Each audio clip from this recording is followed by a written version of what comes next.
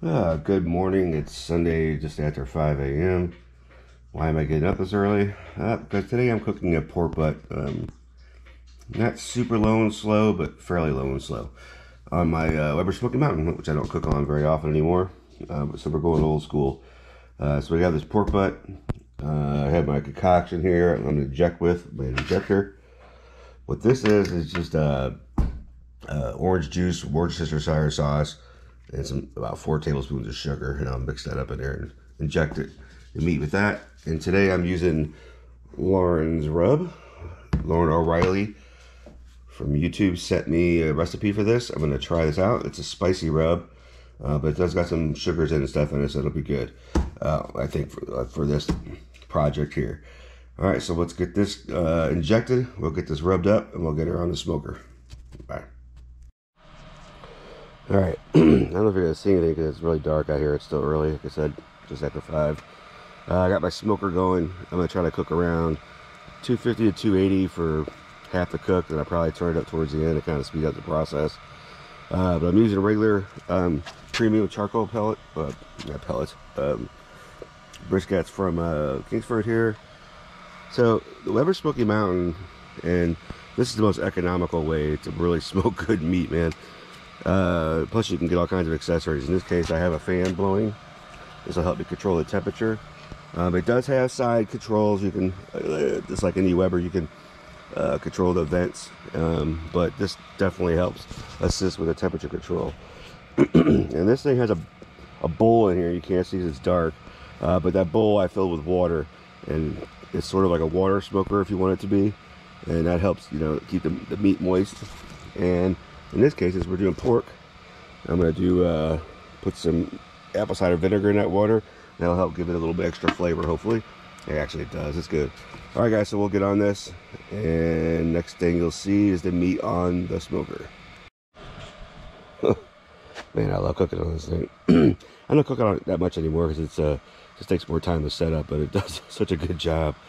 Uh, if you get the temperatures controlled right, you're good to go. So we have an all day event. I'll be back periodically to show you the progress.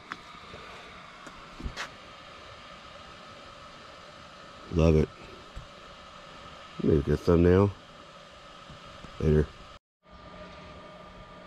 Okay, guys, we've been going for about, excuse me, uh, a little over an hour now. Uh, this, now it's a little bit daylight. You can see what's going on here. So, the Weber Smoky Mountain is rolling right along. The temperature controller, uh, it's a Fireboard brand. This stuff is awesome. Anyway, controls the fan speeds and shows your probe temperature, and you can run it all from an app from your cell phone. Anyway, we're at 270 degrees there. Somehow that's upside down. And this is what we got going on here. Very nice. All right. Be back for some updates soon later. All right, what a beautiful day in St. Louis County. Man, it's nice out. All right. But all I want to do is a bite of sleep. Here we go. Progress. I really don't need much moisture in here. I just figured I'd check it out. Looking pretty good, guys.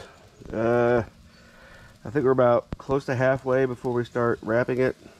And uh, looks like we're doing pretty good on water down there. All right. Dan Smoking Treasures. We'll get back to this as soon as we can. Bye.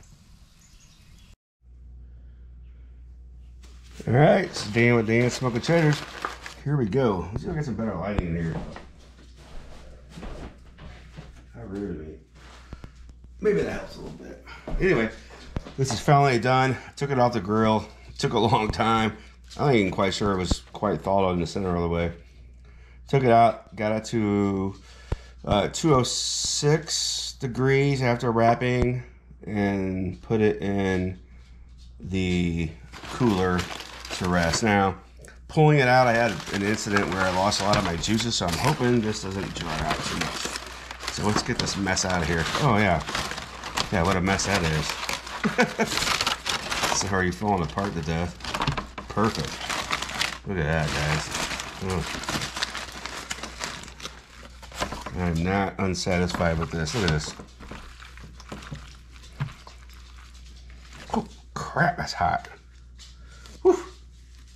Anyway, good way to burn yourself. I'd say this is a successful pork cook. We'll shred this up some more. Let's take a bite of this. Probably the piece that burns my mouth.